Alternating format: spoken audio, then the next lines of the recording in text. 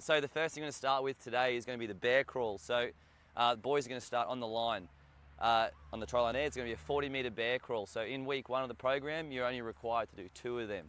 So a bear crawl, what will happen is, is they will start in the ground in like a push-up position.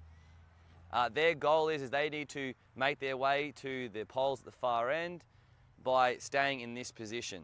So boys, now what I want you to do is, I want you to complete the bear crawl to the 40 metre line. When you're ready, let's go. So when they're doing this task, the goal is to uh, do it as probably as fast as you can. Um, it is quite a physical task, Lee, because yep. we're using both our upper body and lower body. Yep. Again, trying to keep that uh, specific to rugby league as possible. Yep. Um, with this too, the rest is pretty much almost a walk, like a, a relatively brisk walk back. Yep, yep, yep. Um, on the program, there's the timings there as well. Uh, obviously, you know, we want them to stick to those two to one ratio, rest, work to rest ratio, but obviously it's depending on the condition level of the athlete that's doing it. So, radio.